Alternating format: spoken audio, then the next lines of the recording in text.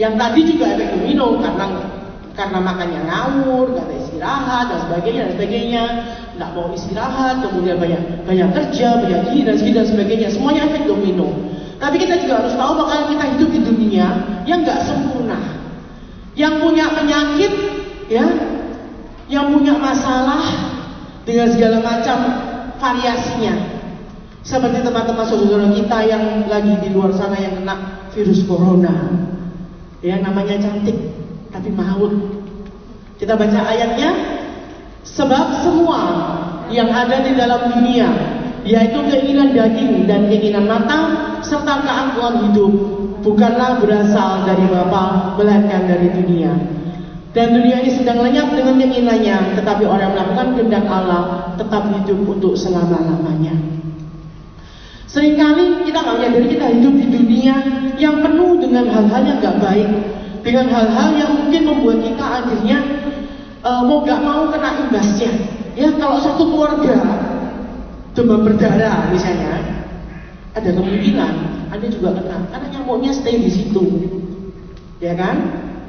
Kalau kita ini satu satu kerjaan misalnya, itu banyak yang sakit flu, maka kemungkinan kita juga mudah kena.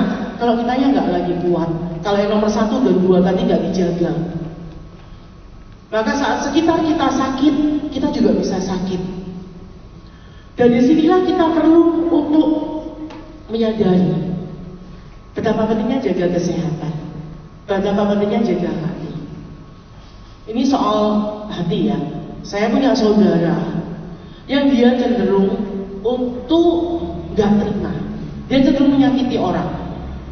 Dia nggak bisa mengampuni dan dia suka untuk ngomongin kejelekan orang di teras rumahnya. Bayangkan, jadi dia telepon saudaranya, temennya, terus dia omongin yang si A itu gini-gini di teras rumahnya. Jadi satu kampung semua dengar. Ya, dan aneh bagaimana kayaknya nggak ada yang bisa membuat dia happy. Ternyata kalau ditelusuri ke belakang, dia punya background yang sebenarnya Asia. Ketika ibunya meninggal, dia usia masih SD kakak-kakaknya jauh beda dengan dia. Ya, dia dekat sekali dengan mamanya. Suatu ketika dia pulang ke rumah, mamanya udah nggak ada ke rumah sakit dan tidak ada seorang pun yang menjelaskan kepadanya di mana mamanya. Kakaknya itu ada delapan. Tidak ada satu pun yang menjelaskan ke dia mamanya di mana, termasuk papanya. Dan beberapa hari kemudian mamanya meninggal.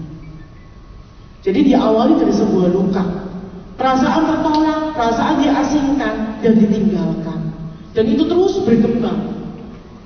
Memang kita ini gak hidup sendiri, sehingga ada banyak yang akan mempengaruhi kesehatan kita, termasuk kesehatan hati kita.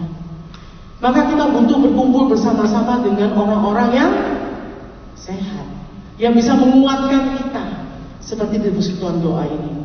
Amin. Supaya kita juga punya power untuk melawan rasa mengasihani diri sendiri, ya, melawan rasa nggak berguna, melawan rasa nggak bisa nggak bisa nggak ada nggak ada fungsinya lagi hidup itu perlu kita lawan bahkan setiap hari. Maka kita ber, perlu bersekutu dengan Tuhan dan dengan sesama. Kita perlu sadar bahwa bad things can happen to good people. Kalau kita hujan, ya, dan semua keluar mau pulang, Gak ada yang jalan di tengah hujannya minggir sendiri. Ada yang seperti itu, jadi mungkin seperti itu. Kalau jalan hujannya sungkan, hujannya minggir. Gak usah payung, enak. Gak ada. Semua juga kecipratan apa yang terjadi. Kalau hujan ya hujan, kehujanan yang mungkin bisa batuk, bisa pilek. Gak jaga kesehatan yang mungkin kita gampang tertular dan sebagainya. Semuanya mungkin dan bisa terjadi termasuk pada kita yang orang-orang percaya. Maka kalau kita mengalami sesuatu yang tidak enak, hanya bukan soal penyakit aja, masalah apa pun, kita harus punya pemikiran yang benar bahwa it's okay. Mungkin justru dari semua ini kita bisa jadi teladan, kita bisa jadi berkat, kita bisa menunjukkan kepada orang lain bahwa Tuhan tetap baik. Walaupun kita mengalami sakit penyakit, walaupun orang kita kasihi mengalami sakit penyakit. Pada saat itulah maka mungkin kita bisa membawa nama Yesus buat orang lain. Ya. Kalau seseorang itu sakit dan kemudian dia mengalami mujizat Tuhan, sembuh misalnya. Mujizat kan? Mujizat. Kalau orang sakit nggak sembuh sembuh, tapi dia bisa tetap bersyukur. Dia bisa bersuka cita. Dia bisa bahkan menguatkan orang lain yang sakit. Bukankah itu juga mujizat? Dia yang jadi mujizat. Bukan dia yang mengalami mujizat, tapi dia yang jadi mujizat.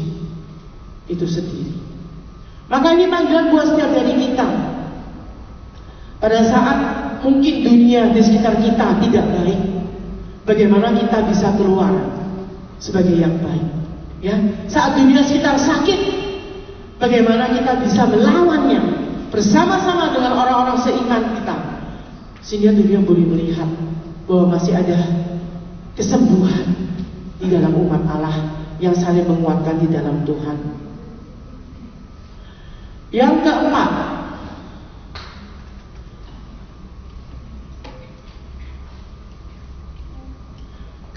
kuasa gelap. Langsung serem. Ini nanti dibahas di sesi-sesi berikutnya aja. Tapi satu hal yang pasti, karena kuasa gelap ini sering kali bikin orang merinding-merinding gimana gitu ya.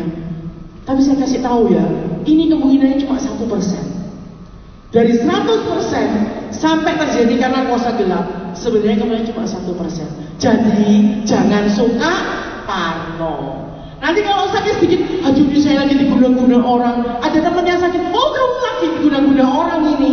Wah tambah bikin stres yang sakit. Ya, bilang kanan kiri, jangan parno. Bilangin sebelahmu itu, jangan parno. Ya, parno itu apa? Takut-takut sendiri. Kita tahu bahwa kita berasal dari Allah dan seluruh dunia berada di bawah kuasa si jahat. Karena perjuangan kita bukan melawan darah dan daging, tapi melawan pemerintah-pemerintah, penguasa-penguasa, penghulu-penghulu dunia yang gelap ini, melawan roh-roh jahat di udara. Ya, memang ada penyakit karena kuasa gelap. Tetapi seperti yang saya katakan tadi, kemungkinannya cuma satu persen. Ya, satu persen. Dan bila kita kuat dari dalam, satu dan dua tadi, maka sebenarnya yang ketiga dan keempat ini gak, gampang menyerang kita. Kalau antibodi kita kuat, ya, secara rohani maupun secara fisik, maka yang dari luar gak gampang menyerang diri kita. Tetapi kalau itu dari dalam, ini yang susah untuk dilawan. Kalau dari luar, bahkan kuasa si jahat, di dalam nama Yesus, kita bisa tolak. Amin. Kita bisa lawan. Kalau perlu kita datang kepada orang yang bisa membantu kita dalam hal ini. Tetapi jangan sedikit-sedikit nanti kuasa gelap. Sedikit-sedikit, oh ini kamu kerasukan, ya. Ada banyak kerasukan ternyata luka batin. Ya, kalau banyak pelayanan doa masih tahu. Banyak yang ah julid-julid kalau didoakan. Kelihatannya kuasa gelap. Ternyata luka batin. Terus gitu dibentak-bentak, keluar, keluar, keluar. Tambah luka batin nanti. Ya. Jadi kita mewaspadai hal ini seperti yang dialami uh, uh, salah seorang teman saya, dia punya pembantu rumah tangga dan pembantunya tuh kejam-kejam, ya, kejam-kejam. Pertama-tama dikira itu epilepsi, ternyata enggak. Terus kan dia ngomongnya mulai ngawur, maka diputuskan dia kerasukan. Terus sama teman saya, ya dia cewek sih, sama dia dikepit kakinya. Keluar keluar keluar. Itu saya belum datang. Saya pada kaget. Ini kasihan sekali nih pembantu ini dikira penganiayaan dalam rumah tangga nanti. Ya diusir untuk keluar. Besoknya dia pulang kampung. nanti ternyata ada luka batin ada masalah dengan keluarganya ya jadi jangan gampang-gampang mengatasnamakan kuasa gelap tetapi ada ya Kan kita bicara soal kenapa aku sakit. Ada dan bisa dilawan. Dengan kehidupan doa yang baik, dengan persekutuan yang baik. Dengan bantuan dari orang-orang yang dikaruniai untuk melawan hal-hal tersebut. Kuasa gelap dalam Alkitab kita tahu dialami oleh Ayub, ya.